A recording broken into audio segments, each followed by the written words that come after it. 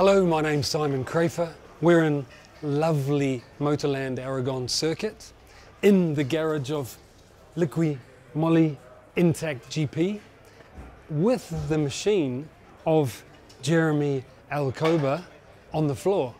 Um, because this week's Tech Talk, I decided to do it on how to pick up your motorcycle when it's fallen, you know. And for a couple of different reasons, I'll explain. I wanted to do this. And uh, because, first of all, at 10 years old, learning to ride a TS 185, which is too big for me, I had to learn this to pick it up. And then later on, uh, 125 motocross at 14, the bike was a bit big, especially covered in mud to pick up. Uh, then basically got onto road bikes and then they get a lot heavier. So the go is to stand two hands, you know, you can do it like that, but it's difficult with gloves, but like this, get close, watch your back, so do it with your legs, two hands on the bar and lift it. You can also make sure that the wheel is turned out so you have as much leverage as possible. Road bikes and motocross bikes and stuff, the bar will come right out here. These have got less steering lock and then I'll just put it back down so we can uh, do that again. And I'll run through the reasons this has been so... Jeremy, sorry. I promise I, I haven't scratched it. It's not really on the floor, as you can see.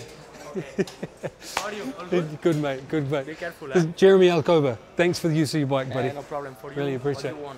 Okay, Be good. careful, eh? I need to use tomorrow. Tomorrow. Okay, good, good luck. Thank you.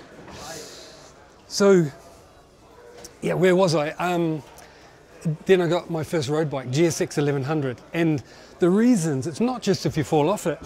For example, 17 years old, you don't have money to uh, change the oil every time you change clutch plates or, or repair an engine cover that you've damaged by falling off. So by lying it on this side, you can change the clutch if it's on the other side, you know, without dumping the oil. And these days, good oil, four or five litre bottle, it's like 50, 50 euros or something, whatever, $50. So you can pull, lie it on this side, all the, all the oil's on the other side. You can take clutch cover off, clutch out, repair something, put it all back, and don't spend the oil as well, especially if the oil's not being used for long. The other side, same thing for the alternator cover or whatever it is, so you can uh, get it repaired and not dump the oil.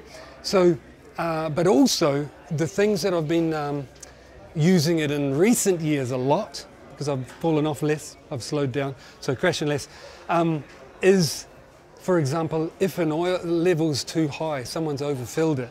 You know, you can literally take off the oil filler cap, turn the bar full that way, get on and lower it, lower the machine over a tray, and then pick it up, you know, until some oil, oil's pouring out into the tray, pick it up, check the level, and keep doing that, and it's super handy. So I hope this is going to be useful, um, especially for our heroes, because the last thing we want to see is our heroes crash in the gravel and pick up their bike, risking their back or in an undignified way. So I hope our heroes watch it as well.